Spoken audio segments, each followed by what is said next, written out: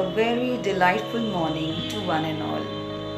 I hope you all are fit and fine. Myself, a member of Dhanbad Public School family, is here to talk about stress management. But let us first understand the word stress. When you Google out this word, you will find a line stating as stress is a feeling of emotional or physical tension.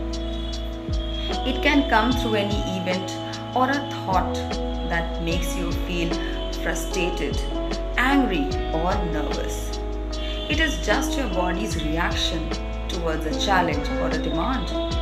For example, if you have an important test coming up, a stress in response can make your body work harder and stay awake for a longer period of time.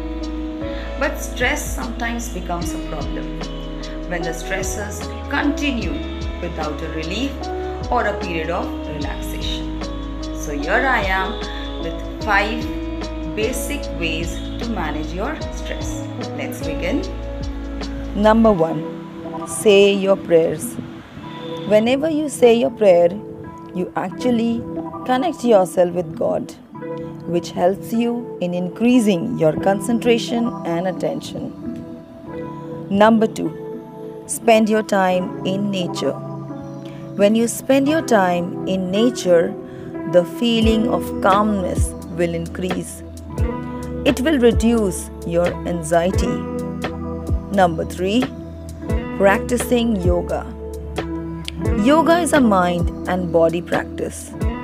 It is the technique to promote mental and physical well being. Number four, spend your time with friends.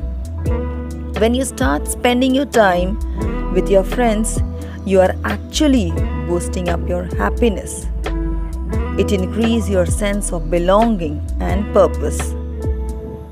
Number 5. Think positive. Remember, when you start thinking positive, you will notice positive things will start happening. So, with this, we come to the end of the video. There are many more to share with you all. Hope you all have liked it. Please don't forget to like, share, and subscribe our channel. But remember, dear viewers, don't stress, do your best, forget the rest. Dhanbad Public School, a happy school.